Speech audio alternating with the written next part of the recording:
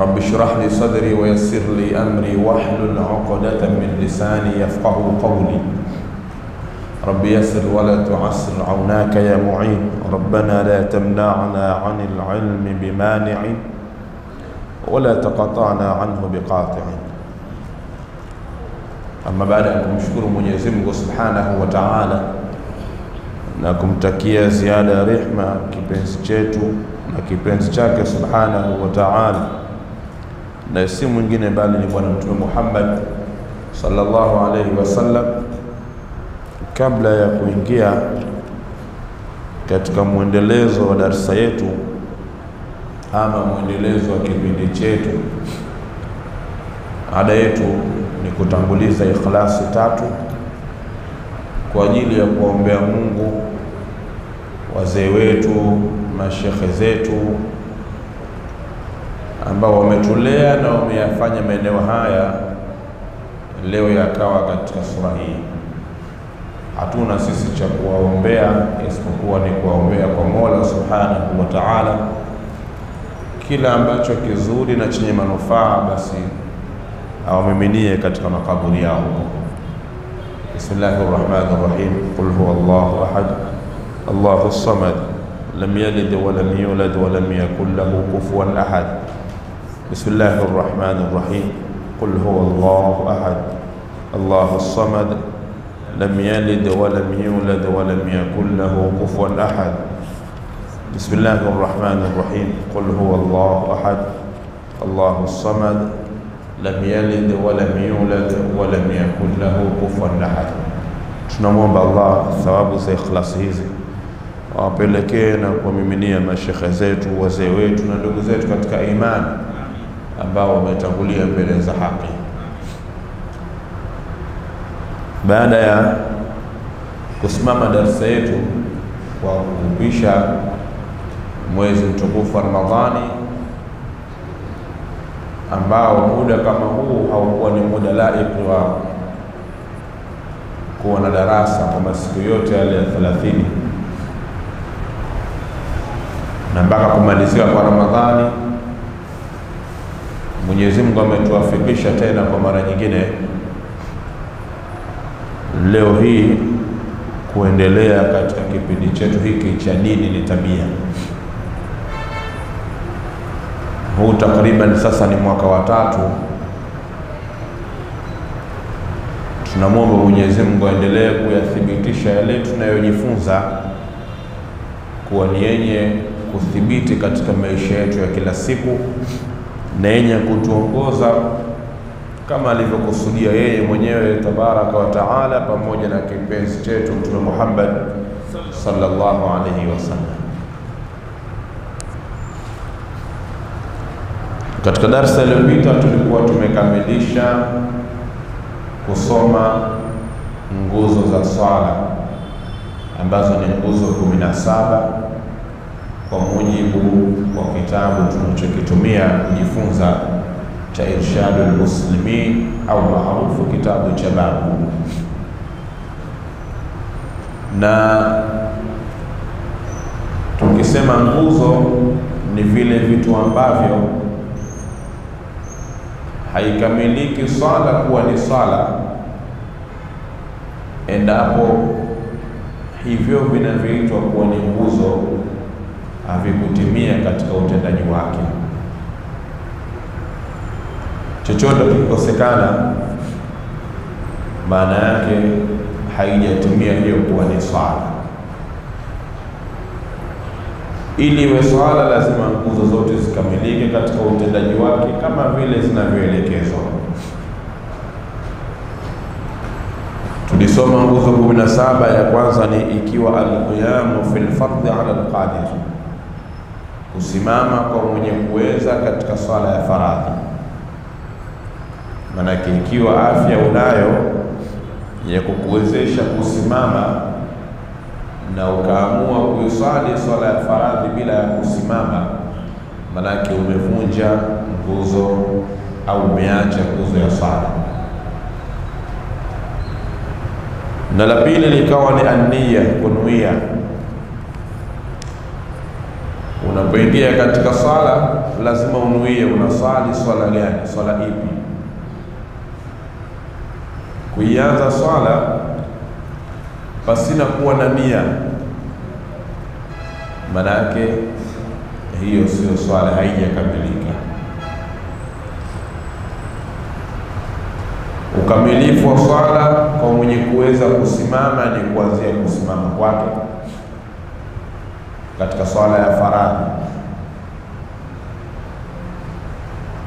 na anapoanza kusali anuie kwa swala ile anayoiswali. Mfano, kuondoa kusali swala ya maghribi, kwa hiyo pakanuiliwa kwamba usalli fardha almaghribi mpaka mwisho. Ikikosekana nia ya katika kusali kwako, maana yake hiyo swala imepita bure. La tatu tukaambiwa ni takbiratul ihrami, takbira ya kuhirimia sala.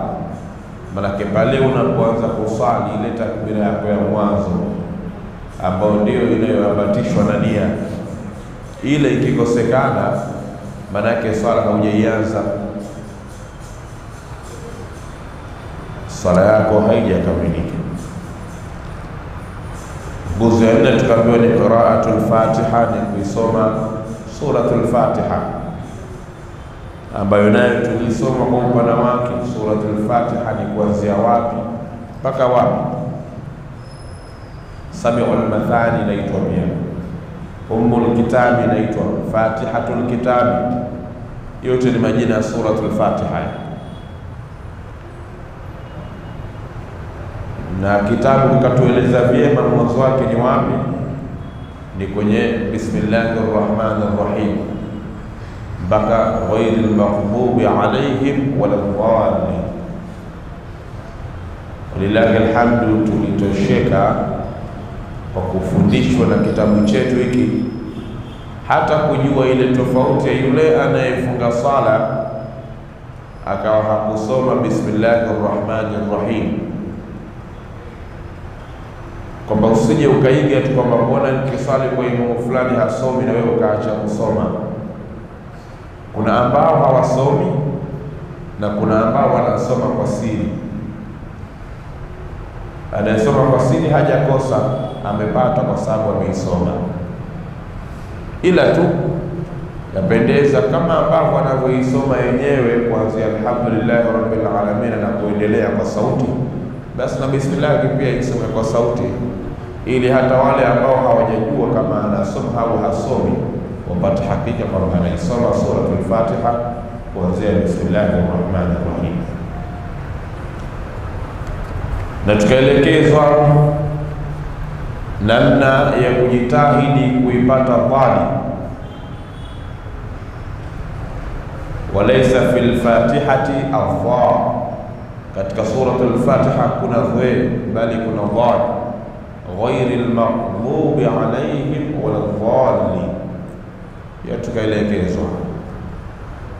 Na nguzo ya tano tukaambiwa ni kurukuu, na nguzo ya sita ni ule utulivu unaotakikana upatikane wakati mtu amerukuu. Nguzo ya saba ni kuitadili, yani kurudi kusimama sawasawa. Hapa napo tukaiona tofauti ya baadhi ya wale ambao wakitoka kwenye kurukuu kwenye kurukuu wanarudi kwenye i'tidali, wakafunga tena mikono yao,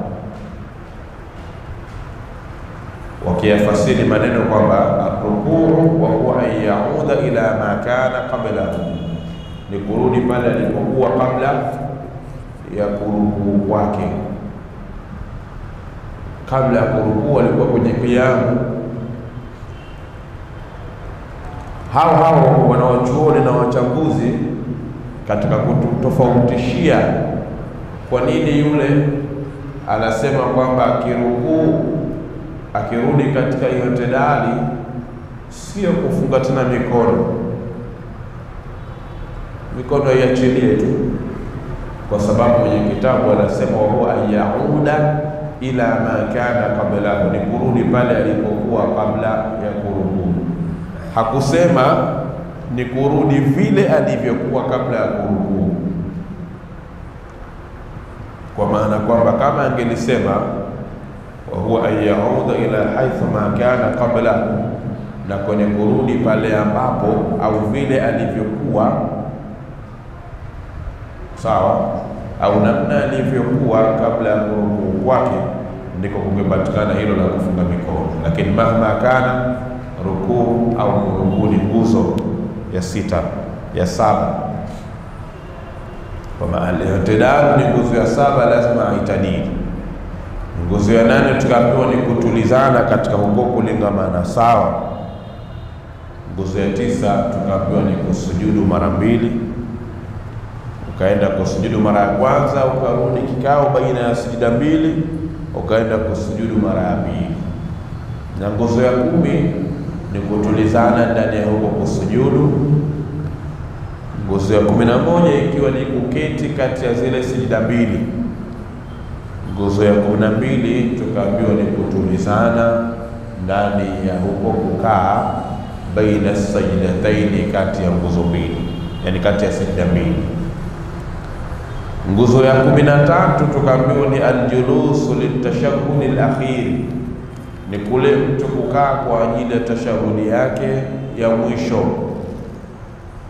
na nguzo ya kumi na nne ni ile tashahudi yenyewe anayoisoma mtu baada ya kukaa katika rakaa ya mwisho, ili baada ya hapo atoe salamu ile tashahudi yenyewe, ashhadu an la ilaha illa Allah, atahiyatu assalawatu tayyibatu lillahi salamun alayka ayyuhan nabiyyu wa rahmatullahi wa salamun alayna wa ala ibadillahi salihin ashhadu an la ilaha illa Allah ashhadu anna muhammadan abduhu wa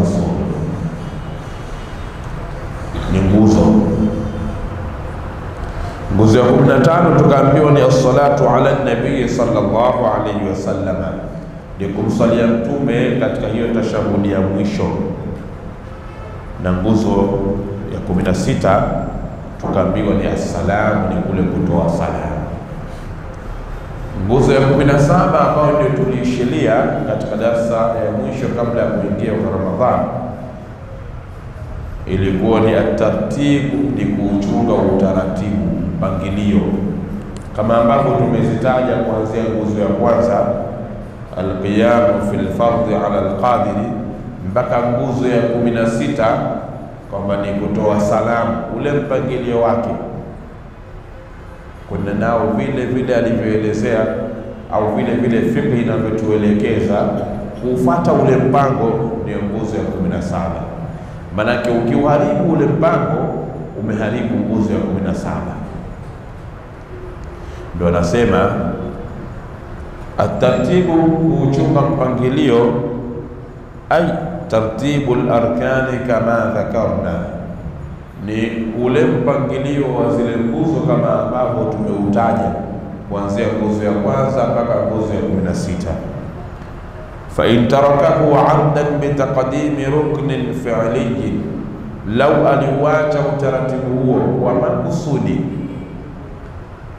kwa kutanguliza nguzo ambayo sio mahala pake ya kivitendo, كأن سجد قبل الركوع كما في السجود قبل الركوع.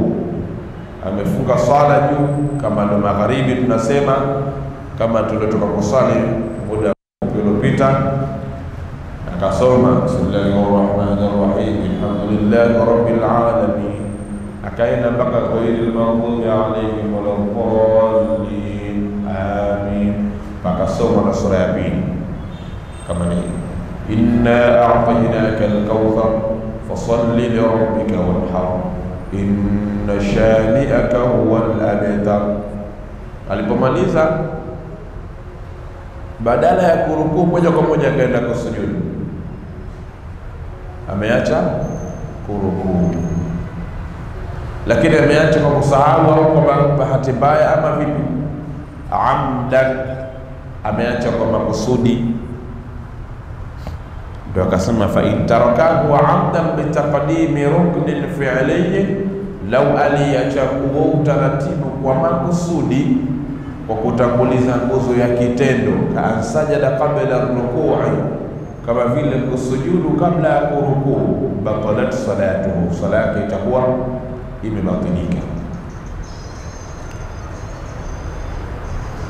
Tumeelewana? Lakini wa in tartiba sahwan, hali ya kusahau kule ameacha kwa makusudi, lakini hapa tunaambiwa ameacha sahwan, hali ya kuwa ni mwenye kusahau, sio kwa makusudi. Na hupenda kutolea mfano zile swala za swala ya tasbihi. Swala ya tasbihi ina vipengele vyake vya kuleta zile tasbihi, subhanallah walhamdulillah la ilaha illa Allah wallahu akbar kwamba ukisimama katika itidali unaleta zile mara katika qiyamu kabla ya suratul Fatiha unaleta mara 15. Wengine baada ya kumaliza sura mbili ukaleta mara kumi kabla ya kurukuu, au wengine wakarukuu ndo wakazileta kumi. Zote ni taratibu mbili zinatumika, lakini huyu aliyeleta zile 15 kabla ya kusoma suratul Fatiha na sura ya pili kisha akasoma suratul Fatiha na sura ya pili. Baada ya kumaliza sura ya pili akazileta kumi zile tasbihi kabla ya kurukuu, subhanallah walhamdulillah wala ilaha illa Allah wallahu akbar, kasoma mara kumi zile. Alipomaliza akajisahau kama yupo katika qiyamu, anatakiwa arukuu, na walaalla kazileta zile ilhali mikono kashaiachia ukakurupuka tulipomaliza ile ya kumi kaenda kusujudu moja kwa moja. Ndio hiyo namna ya kusahau mwenyewe, sawa sawa. Ndio akasema wa intaraka tartiba sahwan, na lau alikuacha ule utaratibu ama ule mpangilio, hali ya kuwa ni mwenye kusahau, fama ata bihi ba'da almatruki lahu basi kile alichokileta, yani kile kilichofanyika fama ata bihi, kile alichokileta baada almatruki, baada ya kile kilichoachwa, lahu ni mchezo, maanake ni kimepita bure. Tumefahamiana vyema? Umetoka katika kiamu, badala ya kwenda katika rukuu ukajisahau ukaenda kwenye sijda, basi kuanzia hapa uliposahau kurukuu hapa ukaenda kwenye sijda, ndio hiyo fama ata bihi ba'da almatruki fahuwa lahun, kile alichokileta baada ya kile kilichoachwa, manake kule kusujudu ilhali ameacha kurukuu, basi kuanzia ile sijida mpaka kuendelea mbele ni sawa sana, hakuna kitu. Kwa nini? liwuquihi fi ghairi mahalihi, kwa sababu ya kufanya kwake katika sehemu isiyokuwa yake. Tumefahamiana? Maanake yeye alitakiwa baada ya kumaliza katika kiamu chake, alitakiwa moja kwa moja aende katika kurukuu. Sasa yeye amepitiliza kuna mwenye rukuu, amekwenda kwenye sijda moja kwa moja. Kwa kitendo cha kwenda kwenye sijda moja kwa moja, tayari anaambiwa kwamba amefanya mchezo, kile kilichofuatia hakipo katika mipango tena. Tumefahamiana? fa in tadhakkara almatruka qabla bulughi mithlihi, lau sasa alikumbuka kile kilichoachwa kabla ya kufikiwa kilichokuwa mfano wake. Ameacha rukuu, amekwenda kwenye sijda, akarudi katika aljulusu baina sajdataini, amekwenda katika sijda ya pili, anarudi katika kiamu na kwamba au yupo katika sijda kule na anakumbuka kwamba ah, nimeacha mimi rukuu katika rakaa hii ambayo nimefikia kwenye kusujudu huku, sawa. Ndo anasema fa intadhakara almatruka qabla bulughi mithlihi, lau kama alikumbuka kile kilichoachwa kabla ya kufikiwa mfano wa kile alichokiacha, faalahu, basi atakifanya kile alichokiacha. Amefika kwenye sida ndo akumbuka nimeacha kurukuu, sheria inamwambia kwamba arudi pale alipopitiliza, anzie pale. Kwa sababu akiendelea, yake kilichokuja mbele chote hakihesabiki, hakina faida. Lakini namna ya tatu akasema, fa in lam yatadhakkar, namna ya tatu ikiwa hakukumbuka kabisa, hata ata bimithlihi, mpaka akakileta cha mfano wake, tammat rakaatuhu, basi atatimizia rakaa yake. Tammat rakaatuhu, atatimiza rakaa kwa ajili ya hicho, maana yake sawa au itakitimizia hiko rakaa yake kamili. Tammat rakaatuhu, rakaa ndicho itakachokitimiza kile kilichoachwa. Watadaraka albaqiya, na atakidiriki kile kilichobakia.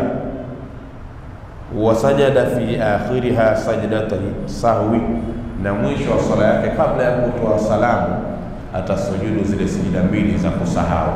Vipi maana yake?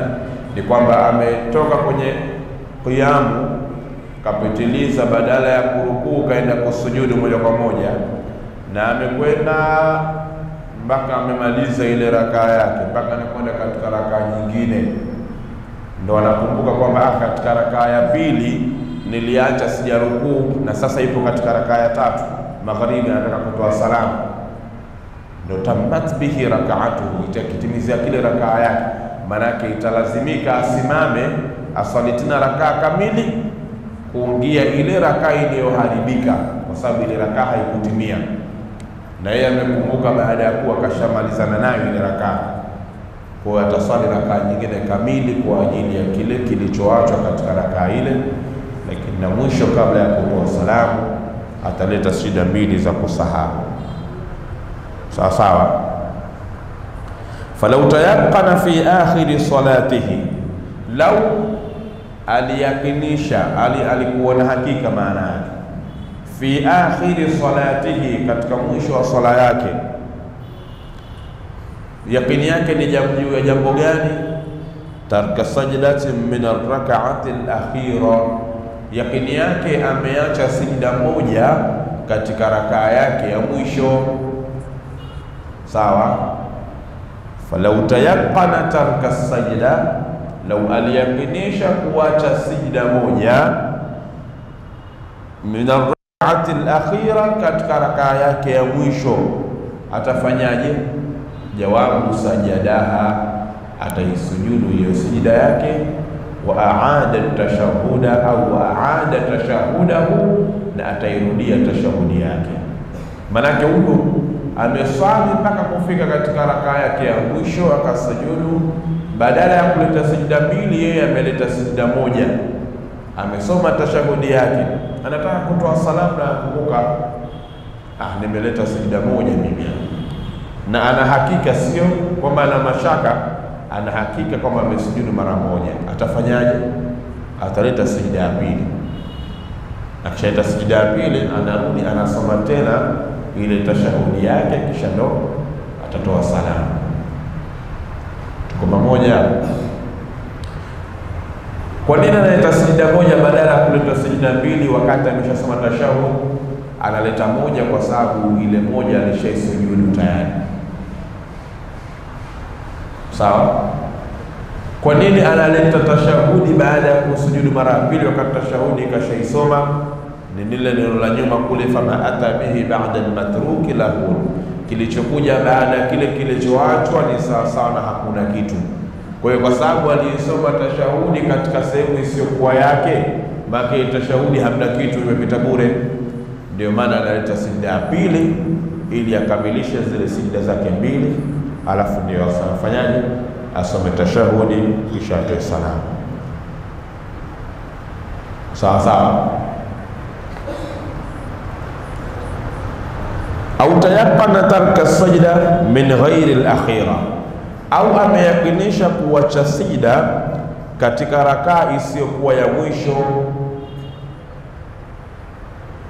Ameyakinisha kwamba yeye ameacha sijda katika rakaa isiyokuwa ya mwisho, yani amesali katika rakaa yake ya pili ya sala ya magharibi, amesujudu mara moja,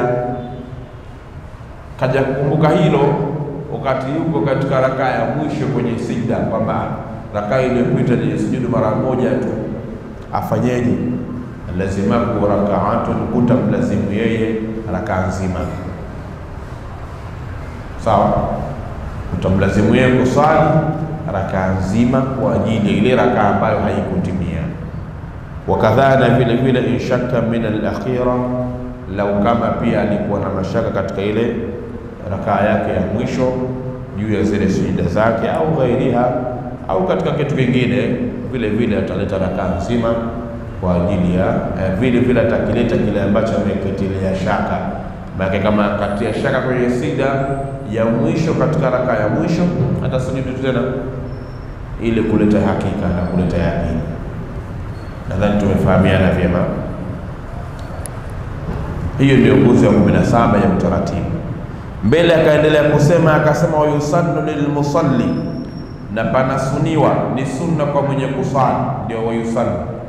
Sawa, wayusannu lilmusalli, na ni ila nadharihi, kisha kutazama kwa ila maudhi'i sujudihi, kutazama pale mahala pake pa kusujudia. Sawa, ni sunna kwa mwenye kuswali kudumisha kutazama kwake mahala pa kufanyaje, pa kusujudia. Na hapa ndio kuna mtihani mkubwa na swala zetu za sunna. Wakati mwingine imamu anatoa salamu, unageuka unamkuta mtu kule amesimama yeye kwa ajili ya kukamilisha swala yake, lakini vile alivyosimama anaswali, macho yake yote yako kwako wewe.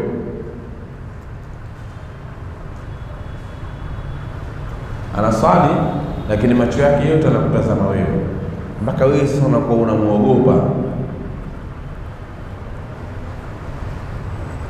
Fahamiana uzuri.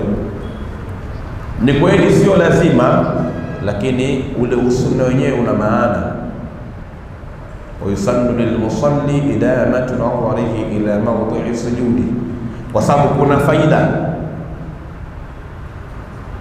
kule mtu kupatikana kutazama sehemu ya kusujudia tu wakati wa swala, kuna faida yake, hakuna hasara, ila kututazama pale ndio wepesi kuingia katika hasara. Ndio ukamkuta mtu anasali akamuona mtu anayeiba. Nyinyi mmemaliza kusali, mnajiuliza nani kachukua, nani kachukua? Yeye yuko kule anasali bana, alipomaliza anakuja kukupeni uthibitisho, kachukua fulani. Wewe umejuaje? na wewe ulikuwa unasali, Kumbe vile anasali yeye anakuangalia ni nyie, au tukio zima analiangalia. Sasa ukioshakuwa unaswali kwa staili kama hizo, hata ule utulivu wa swala haupatikani tena. Manake huyu utakuwa ni ule msemo wa Arabu anasema man rakiba farsaini eh, shaka fakhidhaihi, mwenye kupanda farasi wawili huchanika msamba. Yani utachukua farasi wawili ukawapanda, unawaongoza wakupeleke safari moja, lazima ikifika kwenye kona wakaachara njia tu, mmoja anaweza kaingia kulia, mmoja kushoto, kwa mawili, wewe uondoke na mmoja wao au wewe ubaki katikati, wao watafute njia zao. Sasa na wewe unaposali alafu ile swala yako ikawa imekosekana ilamatu nadharika ila maudhii sujudika, kukosekana kutazama kwako ile sehemu ya kusujudia, umerahisisha kutolewa nje ya swala kwa matukio yanayozunguka. Tumeelewana? Ndio akasema pa yusannu lilmusalli idamatu nadharihi ila maudhii sujudi walkhushuu, na ni sunna kuwa na utulu unyenyekevu, watadabburu lqiraa, na kuzingatia kisomo, wa dhikri, na kuleta dhikri. Sawa, wa dukhulu salati wa faraghi qalbi, na kuingia katika sala kwa uchangamfu. Wa faraghi qalbi, na moyo uliokuwa mtupu, yani moyo usiokuwa na mazonge mazonge wakati ule unasali. ukizingatia kipande hiki vile kinavyotakiwa na sisi tunavyosali, katika watu elfu moja tunaoswali jamaa moja, kama wako wanaosali kikamilifu, sidhani kama wanafika hata kumi ishirini. Sote tukisali ndio wakati wa kukumbuka madeni yetu. Unasali ndani ya sala unakumbuka ah, yule bwana kweli nitampata nikitoka hapa yule. Unaswali sema aya, yule bwana mimi niambia nikaswali Makonde, mimi adhuri na swali huku itakuwaje? Yaani sehemu ya swala ndio sehemu ya kukumbuka matukio yako, na kuna watu tuko hivyo au wako hivyo kwamba yake ana jambo lake linamshughulisha kila kifuta kumbukumbu alikai vyema, anakwenda kutawadha na sala. Ndani ya sala inamjia ile picha yote kamili, anaipata yote mwanzo mwisho. Mtu mmoja aliambiwa siku, alikwenda kumuuliza mtu, bwana, mimi kuna jambo la muhimu, yani kuna nyaraka za muhimu nimezipoteza, sijui nimeziweka wapi, lakini kila nikitafuta, kila nikifikiria sizipati nifanyeje nikumbuke? Akaambia sina, niko sali, nenda kasali. Ukiwa ndani ya sala utakumbuka. Sasa kibaya zaidi, yule hakumwambia akishakumbuka afanyeje. Yeye kaambia nenda kasali, utakumbuka. Akaenda akatawadha, akaingia msikitini kusali. Ameanza tule rakaa ya kwanza, amefunga, ana rukuu amekumbuka zile nyaraka ameziweka wapi, basi hata salamu hakutoa. Ile alipokuwa kwenye kurukuu tu pale pale akatoka huyo kwenda kuchukua nyaraka zake. Wakati yule mume alikuwa anatakiwa mwambie nenda kasali, bila shaka utakumbuka ndani ya swala, lakini kamilisha swala. Si? Nenda kasali. Sawa, ni kweli kwamba umepoteza jambo, kumbukumbu, unataka jambo ni sunna kusali, utakumbuka. Nenda kasali. Ukishakumbuka ndani ya sala yako, hakikisha unaikamilisha sala yako. Ukitoa salamu, ndo nenda katika jambo lako. Yeye hakumwambia hilo, yeye kaambia tunaenda kasali, utakumbuka. Kwa hiyo aliposali kwenye kurukuka, kumbuka nyaraka ziko wapi, pale pale katoka mbio swala haikukamilika, kakimbilia kwenye nyaraka zake. Kwa hiyo sehemu ya swala ndio sehemu ya kuvuta mafaili yetu. Mefahamiana vyema? Sasa ili kuepukana na hilo na kutoruhusu mazingira ya wepesi kulirahisisha hilo, ndio ukaambiwa kwamba katika moja ya sunna pale unaposali hakikisha macho yako yanatazama sehemu ya kusujudia kwako. Ukiwa na utaratibu huo, swala yako asilimia kubwa itanusurika na kuharibiwa. Lakini kama unasali huku unaangalia mbele hivi, ahad allahu samad.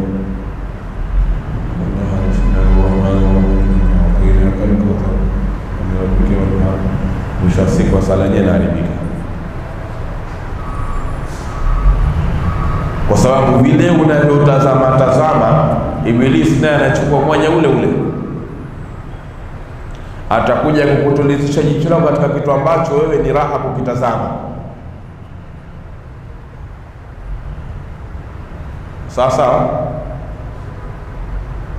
au atakupeleka kwenye kitu ambacho wewe unachukia kukitazama, kwa kule kukutana nacho kikakuharibia utulivu wote wa swala. Ndio pale ukakuta mtu katika swala inakutokea hata wewe mwenyewe unasali, lakini ndani ya sala yako unaweza ukairudia sura mara tatu juu, na kwenda wapi unatoka wapi. Nini kinachokurudisha? Kwa sababu mawazo yako yameshatolewa nje ya swala. Inautainaka haiishi, aya zake ziko tatu tu, lakini kwako haiishi. Au kasoma suratul kafiruna isiyokwisha hiyo, wala antum aabiduna ma aabudu, kila saa narudia kwao. Nini kinakurudisha kwa sababu tuma chako amehangaika hangaika kukutana kitu ambacho hakiyapendi. Kwa kuchukia kule ukachukia kiasi kwamba mpaka kwenye swala tena ukawa ushatolewa huko. Watu wa mpira si muna mwenzie ndo kashachukua ubingwa tayari, uona swali na misikiti yetu watu wanavaa jezi wanazozitaka zote zinaingia huko. Kwa hiyo kuangalia angalia kwako kwa kutaka jezi ya mwenzio ambayo ndo kachukua huo ubingwa, ushachukia kwamba yeye ndo pale, akili yako inahama haraka. Sasa ana bahati huyu, yaani mimi kaniwini katika ile gemu fulani ile nikashinda ile tu, ni saizi ningekuwa oyaoya. Kuna swala tena hapo kwa ni vitu vya sunna, lakini ni vitu vya lazima, kwa sababu vinatusaidia kuzilinda swala zetu. Watadabburi alquran, na kukizingatia kisomo. Tunasoma Qurani lakini hatuizingatii. Wengine wakalisema hili, muulize anayeswali baada ya kumaliza swala yake kutaka kujua akisoma amekizingatia au ameswali kweli au hajaswali. Muulize baada ya kutoa salamu raka ya kwanza baada ya suratul Fatiha ulisoma nini? Au kama ni swala ya sauti, imamu kasoma sura gani baada ya kumaliza suratul Fatiha raka ya kwanza? Hatokujibu. raka ya kwanza baada ya suratul Fatiha kasoma hii sura nani hii hii bwana hii bwana hii hii iko katika nani bwana, katika juzuu katika msahafu hii kwani kuna sura ipo katika nini? Sura ipo katika msaafu tu, kumbukumbu haiji tena. Maanake huyu kaswali na mafaili yake kichwani tele anayo, lakini wakwambia kwamba mwenye utulivu katika swala yake akiswali anakumbuka hatua baada ya hatua kwa mazingatio, kwa sababu alikifanya kwa umadhubuti wake. Tumeelewa na uzuri kwa watadaburu alqiraa na kukizingatia kisomo, wa dhikri na kuleta dhikri pia katika maeneo ambayo zile dhikri tumeelekezwa katika zile nguzo zetu kumi na sita. Kuna sehemu ya subhana rabbiyal azim wa bihamdihi, kuna sehemu subhana rabbiyal aala na nyinginezo zaidi ya hizo, lakini pia wadukhulu salati binashatin wa wa faraghi qalbi na kuingia katika sala kwa uchangamfu na moyo usiokuwa na mazonge mazonge. Unapoingia kuswali, hakikisha moyo wako uwe mkunjufu, ipende ile swala yako. Usiswali kwa miayusho miayusho, kama umelazimishwa. Usiswali kwa kuhisihisi. Mwalimu wetu mmoja alikuwa anatuhadithia, anasema mzee wao alikuwa ni mkali sana katika masala ya utekelezaji wa ibada ya sala. Basi moja katika masiku alirudi nyumbani saa kumi na moja mzee wao baba yao, Mungu mrahamu, saa kumi na moja jioni amerudi, akakuta anacheza mpira kwa hofu aliokuwa nayo mzee, sio kawaida yake kurudi muda ule. Ah, dinge tena amerudi, imekuwaje tena?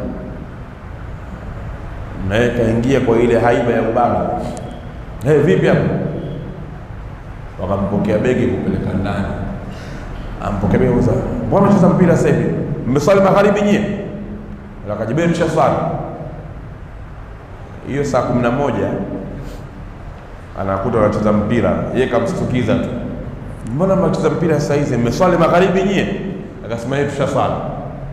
Akasema ah, pumbavu, hamjaswali asili nyie, nendeni mkaswali. Nini maana yake? Kama hapo ulipo umeswali magharibi, afu mtu akustukiza bwana, isha tayari tushaswali, utamjibu nini? Bado, kwa sababu yakini magharibi umeiswali, Aisha bado hujaiswali. Lakini kama ndo umekuja hapa hujaswali, ulipoingia ndani na pengine kuna mtu anakujua wewe ni khamsu salawati, haupitishi kipindi, au pengine unaongea na mtu kaambia, mimi nimeswali nilisa magharibi, uko wapi? Ah, basi tukutane hapo sala ya Aisha, hamna neno. Unaingia msikitini pale, unamkuta naye yupo ndani na anakuona unavyoingia, kusema la haula, sijaswali magharibi na huyu bwana naye yuko pale ananiona, ikisema ni swali hapa, maanake nimemwongopea. Ukaambiwa uzuge nawe ukaya, kwa umekaa hapa pitia darasa yetu, akatoka mtu kafa akakuuliza tu hivi, Aisha tayari bado? Kaambia tayari, kwa sababu hujaswali magharibi yenyewe. Kwa hiyo alikuwa kama mmeswali magharibi, akaambia kisha swali, akasema ah, nyinyi hata alasiri hamjaswali, kwa sababu ingelikuwa wameswali alasiri. Alipouliza mmeswali magharibi, ah, magharibi bado, tumeswali alasiri, kwani muda tayari. Na ndio tekniki nyingi ambazo watu majumbani pia zinatumika kwa baba na watoto wake. Sema kweli, la sivyo nitakucharaza umekula ujara.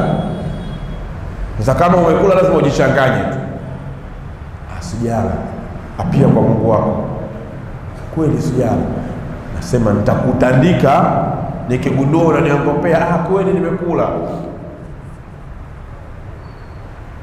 Kwa hiyo moyo uwe uepukane na mazonge, ili unapoingia kusali huo unaiswali swala kweli hili, kwa sababu moyo ukiwa na mashaka mashaka na mabalaa utaswali nia ya swala yako ni magharibi, lakini swala utakayoswali inaweza kawa swala ya alasiri, kwa sababu moyo na mazonge.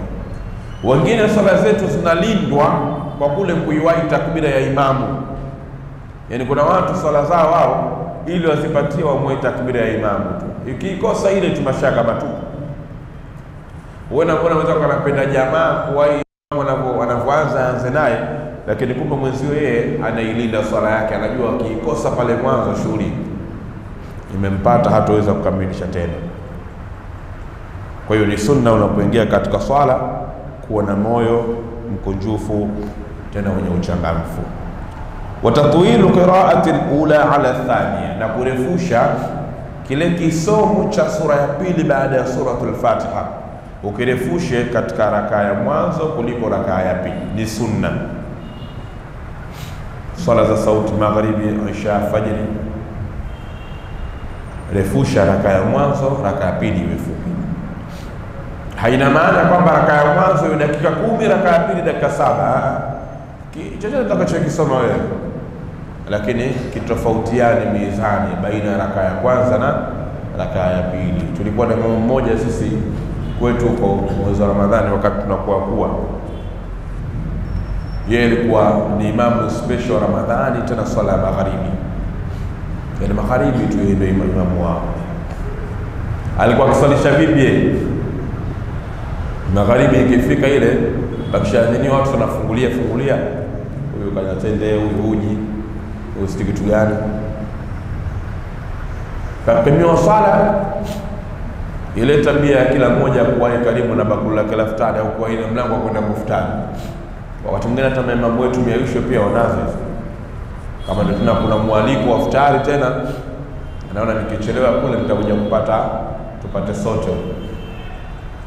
Sasa imamu yule akawa ndo anaingia kuswalisha magharibi. Basi alikuwa akiingia kuswalisha magharibi, sura yake ni inna ataina qul huwallah, inna ataina qul huwallah. Moja katika masiku yule bwana akapata dharura, akuwepo panakimiwa magharibi, maimamu wengine kila mmoja anamsakata mmoja, kaswalishe wewe, kaswalishe wewe. Ah, kidume kimoja kikaingia mbele kaenda kusalisha ghairi lmaghdubi alaihim waladhalin, watu amin. Hata hakuwapa pumzi ya watu kusoma suratul Fatiha, kainua bismillahi rahmani rahim, inna a'tainaka alkauthar fasalli lirabbika wanhar. Allahu akbar. Watu subhanallah, ni hata habari ya samia Allahu hamida kaenda kasujudu mpaka chini, raka ya kwanza, sijida ya pili, karudi juu, raka ya pili, ghairi maghdubi alaihim waladdallin, watu amin, inna shanika wala beta. Allahu akbar. Watu wakaelewa, kumbe ni raka ya kwanza alikusudia. Mara mwanzo alijua kwamba alivyorukuu kasahau kumalizia ile aya ya mwisho, kumbe yeye kakusudia ile sura moja igawanye.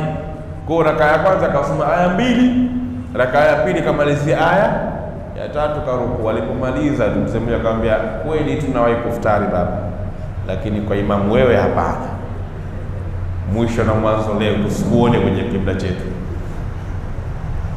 Kwa hiyo tulipoambiwa urefushe rakaa ya kwanza kuliko rakaa ya pili, haina maana rakaa ya kwanza ufungue amati na unafungua mijaladati ya msaafu iko wapi, unasoma aya mpaka watu wanajiuliza hizi aya iko juzu ya ngapi hizi?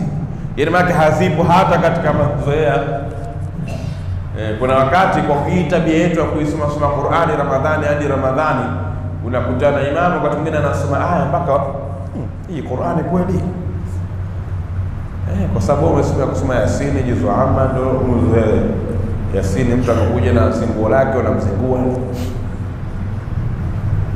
kama ni madrasa unasomesha watoto hizo sura ndogo ndogo hiyo msafu katikati, mpaka Ramadhani ijayo kwa kufuata mzee mmoja, bwana, unasomea hitima ya mzee wangu au ya kijana wangu, ndio unasoma tena kwa uvivu.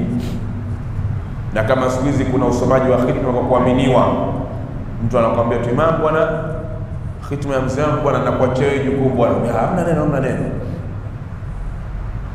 anakuachia wewe usome unavyotaka imani kwako, siku ya kuhitimisha na kwenda kwako kuhitimisha tofauti na zamani ilikuwa hitma hizi zinasomwa katika majumba. Kulikuwa na maana nyingi sana. Kwanza, kupatikana kule kusomwa kweli Qur'an. Tumefahamiana na wazee wetu wa zamani walikuwa wao wakienda katika zile nyumba kusoma zile hitma na misahafu unakuta mzee na msahafu wake ameutia katika mkoba wake, ana ratiba yake kabisa, kwamba huyu saa nne asubuhi anakwenda katika nyumba fulani, anasoma pale nusu saa yake, akitoka pale saa fulani nyumba fulani hivyo. Baada ya kizazi cha wazee kikaja kizazi cha vijana hapa katikati. Subhana almalik, nilishuhudia siku moja, wakati ndo hayo mazingira ya watu kusoma Qur'ani majumbani yanaishiaishia mwishoni kijana amekwenda kusoma Qurani katika moja ya nyumba, mwenyewe akiita buyuti buyuti, buyuti, una buyuti ngapi? Na buyuti tatu. Na buyuti ngapi? Na buyuti tatu. Maanake nyumba za kusoma Qurani juzu moja kila siku mpaka Ramadhani inakwisha. Basi pashashuhudiwa na mwenyewe shamshuhudia mtu anakwenda kusoma mahala, ameingia namuona kile mimi kilichonipeleka pale jirani nachokifanya sijamaliza tayari ametoka. Fikra yangu kwamba ameingia hakuwakuta wenyewe, kwa ametoka, labda tarudi baadaye. Mara namwona baada ya muda mwenye nyumba ile anatoka, kwa sababu nafahamiana naye, nikaambia ah, basi umepisha, ulikuwa umelala nini? akaambia kwa nini? Nikamwambia amekuja nani yule fulani kusoma, lakini mbona ameingia kisha ametoka, ina maana hakukukuta. Akasema ah, kasoma. kama kasoma, akamwambia eh, si fulani eh, amesoma kwa dakika zile tano sijui saba, amesoma. Asema amesoma, amesoma juzuu ya leo au amesoma nini? Sasa amesoma juzuu ya leo. Yule bwana yuko fasta, yule bwana akija hapa yule sema hata sio Qur'ani ya staili hiyo. Maanake alipoingia tu, yani hata ule ubani waliowekwa mwanzo ule haujaisha kutoa moshi, ikashamaliza kusoma juzu mzima ile. Huo nasikia bii, yani mtu anaanza anasema bismillahir rahim, al-Fatiha. Mama kesho basi tutakuja hii Qur'ani hiyo Qur'ani gani? Katika usomaji wa Qur'ani kuna kanuni na sheria zake. Lilharfi mizanun fala taku taghiya, kila herufi na mizani yake, usije kuwa ni mpodaji, maanake usitwange twange Qur'ani. Bismillahir rahmanir rahim, ya'tadhiruna ilaykum idha raja'tum qul la ta'tadhiru, taratibu tu. Qur'ani na misafu yetu hii chapa za Kilebanon, chapa za Madina, chapa za Misri, za Saudia, juzuu moja ni karatasi kumi, maanake ni sawasawa na kurasa ishirini. Kwani ukurasa mmoja wewe ukitumia dakika yako moja, ina maana juzuu moja unatumia dakika ishirini. Umepoteza nini wewe kutumia dakika ishirini kusoma juzuu moja? Lakini mtu unakutana naye juzuu moja anasoma dakika tano, unajiuliza huyu kasoma jisomaje? Sasa sikwambii siku hizi ndio zenyewe kila mmoja anasoma huko kwake, siku ya Idi anakuja kuhitimisha tu pale, ndio balaa zaidi. Ni wachache wanaosoma kweli. Kwa hiyo Qur'ani na namna yake ya usomaji, ukizingatia namna yake ya usomaji, hata ile tadabbur alqiraa fi salat itapatikana, lakini usipoizingatia mtihani sawa sawa. Ndo akasema watatwilu alqiraa, na kurefusha kisomo cha alula cha rakaa ya mwanzo ala thania, kuliko rakaa ya pili. wa dhikru baadaha, na kuleta dhikri baada yake, maana yake kuleta dhikri baada ya swala. Mashaka mazito haya, ni sunna kuleta dhikri baada ya kuswali. Misikitini leo tunaoswali jamani, wengi wanaofanya dua ni wachache, na kuna watu dua hawaombi kabisa, wao ni bid'a. Yani baada ya swala kukaa kuomba dua ni bid'a kabisa, harama, haifai. Kila mmoja ajiombee mwenyewe, lakini akikwama anakuja kwa imamu, imamu ikhlas tatu. Si kila mmoja ajiombee mwenyewe, unataka nini tena huko?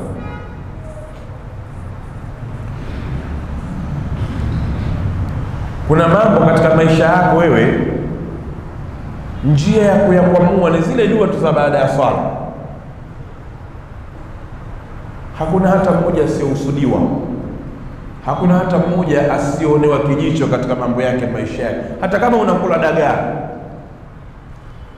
kuna mtu pia ananung'unika, kwani kila siku unakula dagaa? Hata kama wewe kila siku unakula wali maharage tu, na wali wenyewe ndio mchele tupate sote kilo elfu moja mia tano maharage hayajulikana kama yameungwa au yamechemshwa tu, lakini ile kwamba watoto wanakula wali na maharage nyumbani, kuna mtu jirani yako naye anakuonea kijicho, kwa nini kila siku anakula wali? Kwa hiyo hakuna kusudiwa.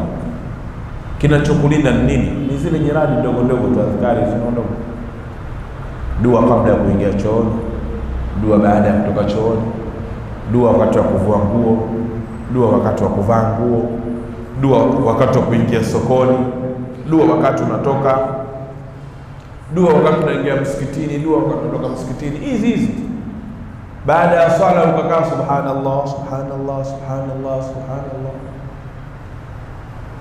zinatengeneza mambo mengi sana katika maisha yetu, mengi mno.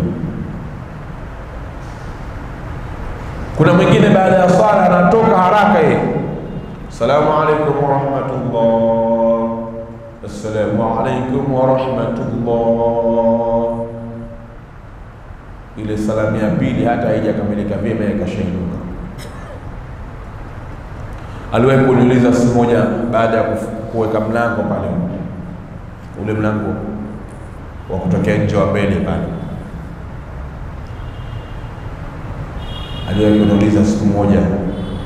Tena huyo alioniuliza hata sio Muislamu kama rafiki yangu tu, tuliwasiliana, nikaambia nipo kari yako, sasa basi nakuja, mna jambo nataka tuonane, tuzungumze. Siko pale msikitini pale, lazima pale pale, basi nakuja. Yule bwana akaja muda ambao tuna swali, ananifahamu, ni rafiki yangu wa muda mrefu, sauti yangu anayejua naisikia amekaa nje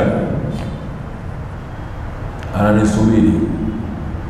Baada ya swala, salamu alaykum Allah ya kwanza, ya pili, anatoka, watu wanatoka mlangoni. Nilipoonana naye baada ya kumaliza ratiba za huko, akaniambia ah, yule aloswalisha leo unafanana naye. Nikamwambia nafanana naye, akasema yeye wewe umemuona? Ambaye nimemuona. Kwani uliingia ndani wewe? Akasema si nilimwona ametoka mlangoni pale baada ya kutoa nini salamu yenu ile. Yaani nini maana yake? Yeye amekaa pale nje anasubiri mie. Kwa hiyo baada ya kusalamu ya kwanza, salamu ya pili, kamuona mtu pale ametoka na kanzu ka vizuri na kofia imependeza pale. Baada ya salamu tukatoka, akili yake yeye ule mlango ni wa imamu. Kwa hiyo kajua kwamba yule aliyotoka pale ndio aliyeswalisha. Maanake ule uharaka wenyewe wa kumaliza swala na kufanyaje na kutoka, nikamwambia mimi ndio niloswalisha. Ambia sio bwana, oho, ngambi ndio niloswalisha. Ambia hapana bwana, nimefanana naye bwana, nimefikiri nakujua na sauti yako najua, lakini nimefanana sana. Aliponisimulia nikamwambia hawa wanaswali mlangoni huko, wanawahi kutoka. Sasa unakutana mtu hivyo na mwingine mpaka mnazongana mlangoni pale Wewe nyinyi mnataka kuingia sala ishaisha, yeye anataka kutoka, mnapigana vikumbo. Basi wewe utaingia huku, utatawadha, utasali, ukamaliza kuswali, kutoka nje na kwenda kumkuta wapi? Kwenye kijiwe anapiga stori, yaani spidi yote ile, kumbe kijiwe ni kupiga stori. Ukimuuliza utakwambia kwamba bid'a dua, bid'a dua. Kumbe zile dua za bid'a zile ndizo ambazo zinamkwamisha katika mambo yake. Kila akienda kwa kikwama, narudi imam, bwana mambo hajakaa vyema bwana, alam nashrah bwana, imam bwana, hali bwana sio hali bwana, leo bwana fanya dua yote bwana waumini.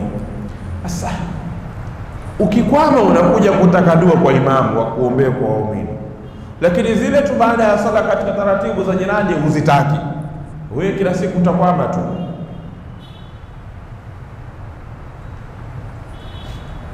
Bwana mmoja alihudhuria katika darasa, kisa maarufu wote akisemaje hicho, katika darasa ya kama hivi, kahudhuria shekhe anasomesha, akawa anaelezea faida za nyiradi za baada ya sala. Mtume Muhammad sallallahu alaihi wasallam katika moja hadithi anaelezea thamani haya maneno ya subhanallah, alhamdulillah, namna gani inajaza mizani hasanati ya mtu. Kwa kaelezea shekhe akasema msiache kusema zile subhanallah, alhamdulillah, la ilaha illa Allah, Allahu akbar baada ya sala, msiache, zina faida zile. Mtu akauliza miongoni mwa faida zake ni zipi? Akawambia, ukisema subhanallah moja umepanda mti mmoja peponi. Maanake subhanallah 33 umepanda miti mingapi? 33 walhamdulillah miti mingine 33, Allahu akbar miti mingine 33. Kwa hiyo wewe katika sala yako moja ukipiga zile nyiradi za ule mzunguko wa tasbihi mwanzo mpaka mwisho ule umepanda miti 99 katika siku mara tano. Faida kubwa hiyo.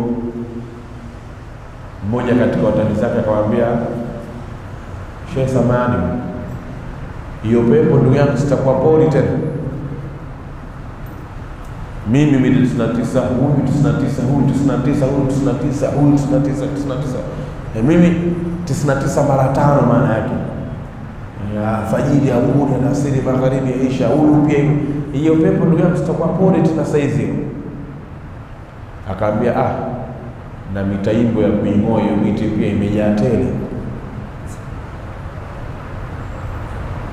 Akawambia wakati huu umepanda miti tisini na tisa adhuhuri wakati mwingine umeipanda hapa ndani miti mingapi? 99, si ndio? Baada ya kumaliza swala ya dhuhuri ile, hujafika hata kwenye ule mlango wa kuvaa viatu, yote ushaing'oa. Maka umemaliza swala na dua, baada hapo ukachukua simu yako ukafungua.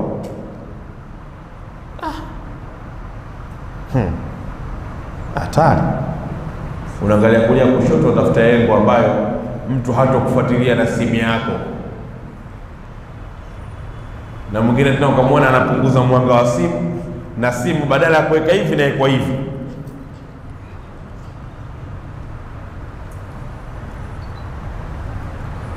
Kuna miti 99 iko hapo? Hakuna. Maanake ni madhambi matupu anayoyafanya pale. Sasa tunaishi katika maisha ambayo tunaondoshewa mazingira ya kupata thawabu na tunatengenezewa mazingira ya kupata dhambi zaidi. Ni mtihani mkubwa sana. miradi hizi ni kitu muhimu sana baada ya swala, zipendelee sana, kwa sababu ulimi wako namna unavyokuwa mbichi kumtaja Mwenyezi Mungu kila wakati, ndio mambo yanavyokwenda vyema. Lakini ukiacha tu kwamba ni bid'a, ni bid'a, ni bid'a, mtihani. Na yale tunayoyasema mara zote kwamba haya mambo kila mmoja na mzigo wake na kila mmoja na fuku lake la thawabu. Jadidi safina fa inna albahra amiq akthir min azadi fa inna safara tawil, weka akiba nyingi, safari ndefu. Kila mmoja unapokwenda na lake la kujielezea. Wewe ukijiridhisha kwamba jirani hazifai baada ya sala, sawa, muacha alojiridhisha inafaa, endelee kufanya. Tatizo liko wapi? Hamna tatizo, lakini wewe hutaki jirani baada ya swala, na bado pia unawakataza watu nao wasifanye.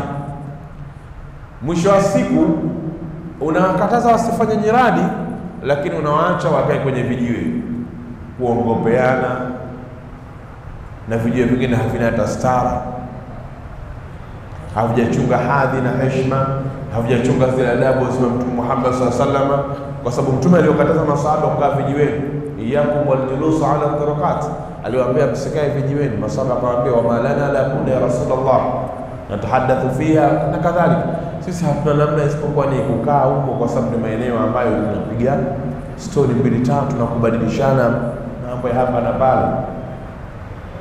Mtume aliwaambiaje? Akaambia, ikiwa hakuna budi ila kukaa, faatu tariqa haqqaha, basi zipeni njia haki zake.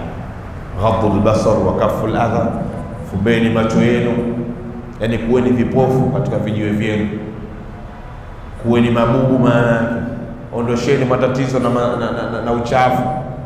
Lakini leo tukikaa vijiweni sote au asilimia 99 imekuwa ndiyo mambatu shari, yani ndiyo machimbuko au chimbuko la shari na matatizo. Wakati tunaambiwa tukaa vijiweni tufumbe macho, si ndio tunayafungua macho na darubini hasa nakaa mtu napiga naye stori, halafu namwona kageuka huku, wewe ukimwangalia tugeuka nini, huone alitogeukia. Vijana anaita ametanguliza mpira mbele. Maana yake nini kutanguliza mpira? Yaani kamwona mtu anakuja huku, kamshughulisha akili yake, eh, ikichomba hicho hatari hicho. Sasa anakuja maeneo ya huku, lakini kila akisubiria sasa, huyu akifika hapa ndo nikigeuka mimi, maana yake ninageuka kumwangalia yeye. Na mimi nimekaa na watu wa heshima pale, fanyeja, Ndo anatanguliza mpira mbele, anaanza kugeuka yeye, maana mbele nishamuona, nyuma yupoje? Kwa atajipigia simu, naam, hapo, hebu ngoja, kuna kelele, kwa sogea mbele kidogo. Anasogea mbele ili yule apite. Sasa omba Mungu akati amesogea huku, ili yule ampita mwangalie vizuri, yule kakucha kona hapa si mfano hapo nje suna kijiwe? Kwamba umekaa unaangalia Msimbazi kule barabarani, kimekuja chombo cha hatari, wewe unatanguliza mpira mbele, ili mradi umuone vizuri, atakapogeuka na nyuma pia, si ndio? Unageuka unaangalia huku, kwa mwisho wa siku unajipigia simu, akili yako inakwambia huyu ananyoosha, kwao, unaongea na simba mpaka unavuka barabara, unasimama pale kwa kina bwana tuzauzia dawa kwa kina laana au ule kwenye juisi za pia umesimama kule unazuga, ili mradi ukione kile chombo vizuri, unasogea huku ili apite umuone vizuri, mmoja kakucha hapo kaenda huku. Hasa ile tabu unaoipata huko hajafika, mwisho wa siku kugeuka nyuma, yuko wapi? Yuko wapi? Kumuuliza mtu unashindwa, maana mbona anapepea huku kwa mbali, tabu ya nini yote sasa tunakatazana nyiraji misikitini, lakini hatuzuiani hayo ya vijiweni. Misikiti yote na vijiwe nje, misikiti yote ya kwetu na isiyokuwa ya kwetu. Hakuna msikiti ambao hauna kijiwe, hamna. Naangalia na na na na na namna ibilisi na shetani anavyocheza na matumizi ya hisia zetu. Misikiti yote ina biashara za kula kula nje, misikiti yote, yaani kila msikiti ukienda lazima kuta mtu anauza mishkaki tende sijui hizi. Lazima.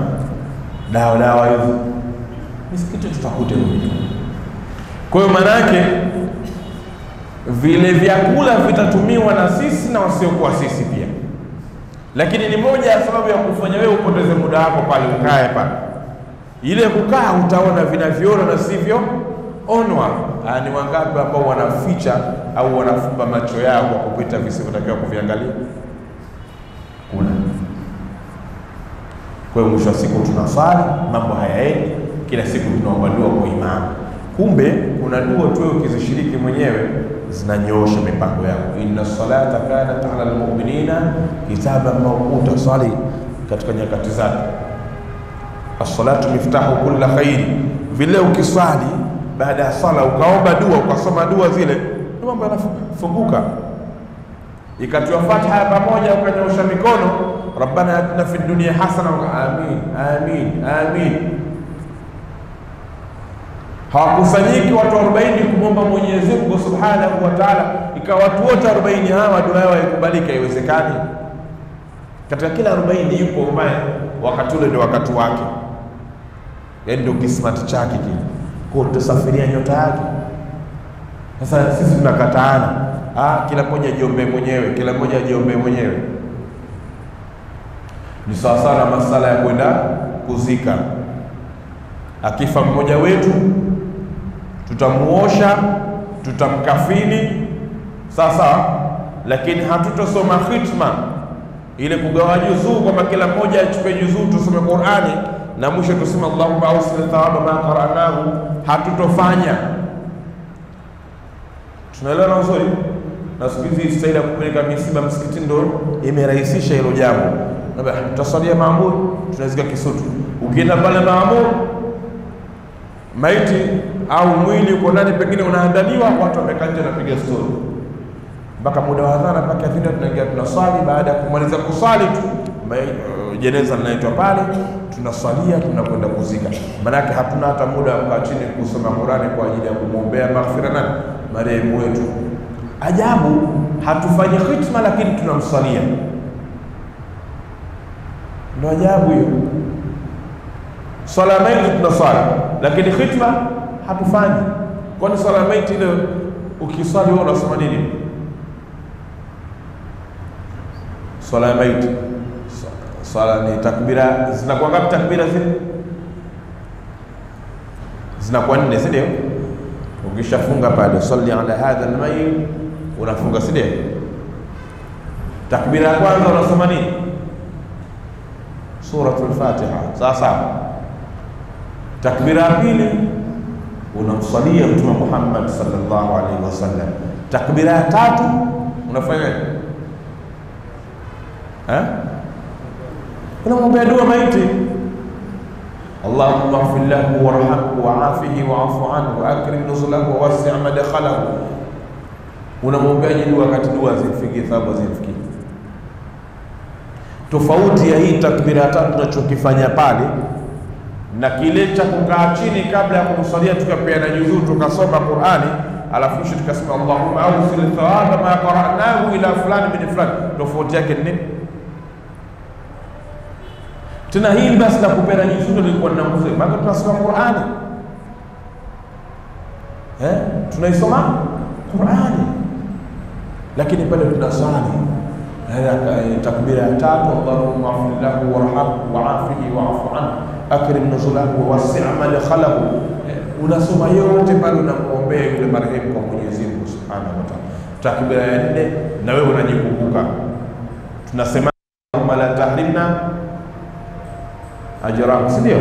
Au atusome tunasoma zilivyo, Allahumma la tahrimna ajrahu, Mwenyezi Mungu usitunyime malipo yake.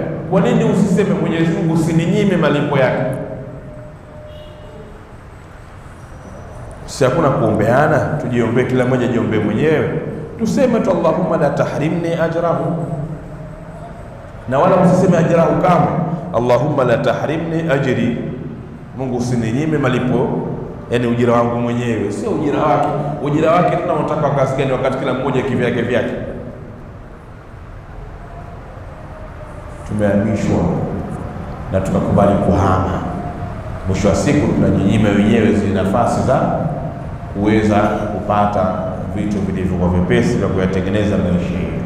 Kwa hiyo dua hizi, dhikri hizi zina maana kubwa sana, ikiwa itikadi yako lakini ipo kweli. Lakini kama itikadi yako ina yumba yumba, hazina faida.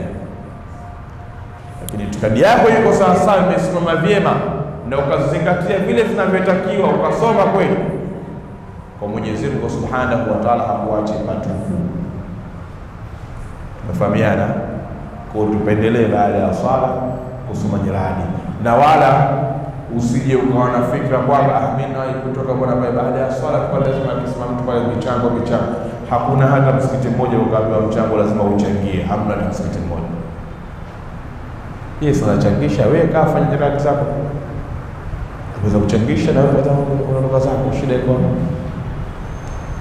lakini tusiondoshe utaratibu wa kufanya hizi dua Mwisho wa siku ndo haya madhara ambayo leo tunaoyapata na misukosuko ambayo tunaipata. Tiba zimekuwa chache za hakika, badala yake imekuwa wale matabibu sasa ndio wamejaa mitandaoni, waganga wamejaa mitandaoni. Wewe leo toka tuna na, na, na ujinga wa mitandao, namna ukijua kujipromote mambo yanavyokwenda, ah, ulali njaa. Mtu mmoja alisema Dar es Salaam ukilala njaa umetaka mwenyewe, kwa sababu kuna wengi, yani kuna upuzi upuzi mwingi. Wewe toka leo hapa, nenda kalale, kafikiria namna ya kupata hela kesho, alafu kurupuka tu kesho eh, ukiamka asubuhi kwa machicha ya nazi ukiyachanganya na ubani maka ukapondaponda ukatia katika chupa ya maji yakilala siku tatu, maji yale ukiyatumia yanaondosha nuksi, yanaondosha dhiki, balaa. Lakini katika maelezo yako usisahau kusema yanalinda heshima ya ndoa. Neno hilo ndo linauza sana dawa hiyo.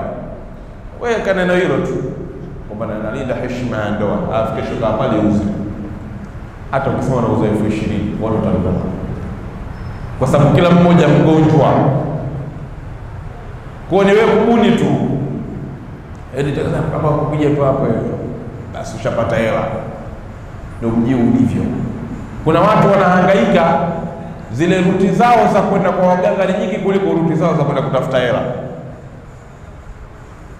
na hakuna watu wanaokula hela za watu kwenda kama waganga, sikwambie mtu, na wao wanacheza na hisia zako kwa vitu vidogo tu. Yaani wewe unamtengenezea mazingira mganga kuchukua hela yako kwa vitu vidogo sana. Unakwenda kwa mtaalamu, unaambia bwana, mimi nina matatizo, nina mashakili mengi sana. Eh, kwa muda gani huu? Unakwenda mwaka.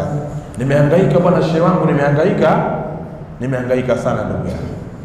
Nilielekezwa kwa mtaalamu Sumbawanga kwa nimekwenda huko Mangusi, nikaelekezwa mimi Tabora, nimekwenda kwa Mangusi, nimeelekezwa sijui Kigoma huko Mangusi, nimeelekezwa sijui kwa nani huko. Kila ninapokwenda napoteza hela, mambo hayao. Nikaambiwa wewe unaweza kutusaidia, nimekuja ndugu yangu, hali mbaya. Kumbe wewe vile unavyotaja kama nimekwenda sehemu fulani mambo hayakuwa, nimekwenda sehemu fulani, yeye zile anapiga hesabu zile, nauli hapa mpaka Tabora begani, nakula likaa siku ngapi, huyu alizopewa dawa alitumia begani, na inaonekana huyu hela anayo. Kwa hiyo ukifika kwenye kituo tu Akamwambia matatizo nayo mengi ndugu yangu, makubwa sana. Kwanza unarogwa, mabalaa unayo mengi, una hivi una hivi una hivi. Mwisho wa siku tufanye kazi sawa, unafanyaje? Vifaa tupo laki tano. Ah, sina hela ujue. Sasa basi katafuta hela, ukipata utaniambia, ukipata utaniambia. Na uso mkavu sasa wewe ushajieleza mwenyewe, umehangaika kote huko, unasemaje huna hela? Sasa unapata jela za kwenda kote huko, afu useme huna pesa. Kwa hiyo ushamtengenezea njia, anachukua hela yako vizuri. Baada ya pale, nawe mtu mmoja alisifiwa juu ya mganga fulani yuko maeneo fulani huko, akaambia kuna mganga huyo kijana mzuri sana, wewe ukipeleka huko mambo yako atakaa vizuri. Akasema sawa bwana, mimi nahangaika kazi mpaka nimechemka, nipeleke huko akapelekwa kwa huyo mtaalamu ili akaombewe Mungu apate nini? Apate kazi. Alipofika pale, amekaa kwenye foleni kuingia chumba cha mganga. Alipoingia ndani kumtazama vizuri, kumbe amesoma wote shule.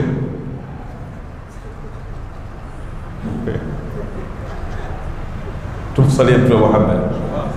Kumtazama vizuri, kumbe amesoma wote shule. Mwamba kapambana kutafuta kazi na vyeti huko, kafeli. Mwisho siku na tabu ya nini kwani kitambaa mita moja si mia saba tu, cheusi chekundu si mia saba tu. Kaingia dukani kanunua vitambaa, katengeneza mambo yake, kaandika makorokoro yake, kaweka naye mganga. Watu wakija pale wanafanikiwa. Nini kinachofanikisha? Itikadi tu, yaani uganga ni imani yako tu ndio unavyopona.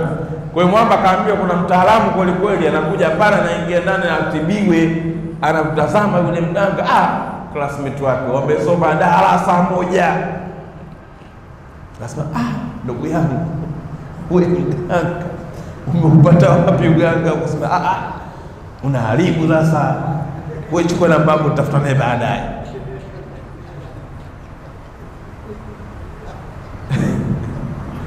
Iga Uganga nini? Itikadi. Siku moja kuna mtu mmoja alibuni mipango ya kupata hela, mipango ya kupata fedha. Akaenda katika moja ya mji akajitangaza yeye ni mganga, mtaalamu wa tiba, anatibu magonjwa yote yaliyoshindikana, natibu magonjwa yote yaliyoshindikana, na usipopona na kurudishia pesa yako uliolipa mara mbili yake, sawa na kila ugonjwa tiba yake, yani magonjwa yote tutakayotibu gharama yake ni laki tatu. Kwa maana yake unalipa laki tatu na kutibia usipopona na kurudishia laki sita. Mtu mmoja akasema, ah, huo mpango wa kwenda kula huyo, hamna mganga anayetibu magonjwa yote, hapo kuna hela ya bure. Mwamba akatoka na hela yake laki tatu, kaenda kwa ule bwana, bwana, nimekuja mimi naumwa. Unaumwa nini bwana? Akasema, bwana, ninasumbuliwa na ugonjwa wa kupoteza ladha mi sina ladha. Una ladha kivipi? Anaambia mimi ni kila kitu sipate ladha. Sasa ladha, ugonjwa wa kukosa ladha ni ugonjwa gani? Yeye bwana akasema basi sawa, hamna neno. Yeye bwana akaandika andika karatasi ile, akamwandikia kombe, akachukua na karatasi nyingine akamwandikia namba sita, akaambia nenda chumba kile, au ngoja usiende kule. Akamuta we Daudi, naam bwana. Akamwambia ita namba sita. Yule bwana akaita namba sita, namba sita pale, akammiminia kwenye kikombe, akampa anywe. Sawa, yaani baada ya tibatiba za mwanzo zile, hiyo ndo dawa ya mwisho. Anampambia hii ndo testa yetu na dawa yetu ya kuthibitisha umepona au haujapona akammiminia kwenye kikombe namba sita ile, akapewa yule bwana aje. Yule bwana alipokunywa mikojo, sasa so, mikojo hii? Akasema kwa unapata ladha, ushapona tayari. Mwamba akalipa laki tatu. Sasa mwanamume kachukua laki tatu yangu huyu, poa, haina noma. Akaondoka, kafikiria haiwezekani achukue laki tatu yangu ile, lazima nirudishe ile. Narudishaje? Siku ya pili kaenda tena, bwana, nimekuja leo. Sema ah, umekuja? Ah, wewe ndio bwana wa jana? Sema nimekuja ndugu yangu. Eh, vipi maendeleo? Ah, si jambo, ule ugonjwa ulishapona ule, bwana, ila umezuka ugonjwa mpya, unanipa tabu sana. Ugonjwa gani huo? Kumbukumbu, sina kumbukumbu kabisa na mimi kumbuka sikumbuki. Hamna neno, sisi tupo kazi yetu kutibu kila magonjwa yaliyoshindikana. Magonjwa ya siku yetu tunayatibu hapa. Nachoka tasa naandika, umesema unaitwa nani? Mimi. Yaani maana ndo anayetu kabisa kwamba hana kumbukumbu kweli. Umesema unaitwa nani? Mimi nimesema nini? Au kwa jina lako nani akamtajia. Umesema unaumwa nini? Mimi. Kuumwa akamsema unaumwa ugonjwa wa kumbukumbu eh, ndio ugonjwa unasumbua. Akamwambia basi usijali. Bwana akamweka pale kwenye kisijada chake, akamsomea somea, akampa makombe akanywa. Baada ya kumi kumi na tano akamwambia basi, kama ya kawaida, tunafanya hitimisho la tiba yetu inshallah. Kesho kama utakuwa hujapona utarudi ili tufanye kama tulivyokubaliana kwamba kama hujapona tunakupa mara mbili ya pesa uliolipa. Akamwambia sawa, mna neno. Daudi, naam bwana, eti namba sita. Ah, hiyo si mikoja jana hiyo. Yeye bwana akalipa na laki tatu ya pili nayo imekwenda. Alipotoka nje akasema ah, ah, watu wamejipanga kula hela zetu, sirudi tena. Sasa ndo mji ulivyo. Kwa kuna watu wamejipanga hao kuchukua hela yako, yaani huna mbinu ya kuepuka usalimiki. Sasa utasalimikaje? Ndio hizi dua baada ya swala, kaa uombe dua. Mikusanyiko hii tukiomba dua, na wewe uwepo, basi ukiitikia amini, Mungu anaitikia dua zako na mashakil yataondokana na wewe na utajiepusha na misukosuko mingi sana. Mungu atufanye wepesi katika yale ambayo anaridhia na tusaidie katika wale ambao tunahitaji msaada wake kusimama katika yaliyokuwa ya haki, athibitishe elimu tunazojifunza katika maisha yetu. Inshallah, wiki ijayo tutaendelea na darasa yetu katika upande wa sharti za swala. Leo tumekamilisha masala ya nguzo za swala. Allahumma rabbana taqabbal minna innaka antas samiul alim wa tub alayna mawlana innaka antat tawwabur rahim. Allahumma rabbana atina fid dunya hasana وفي الآخرة حسنة. من عذاب النار. بفضله سبحان ربك رب العزة عما يصفون. وسلام على المرسلين والحمد لله رب العالمين.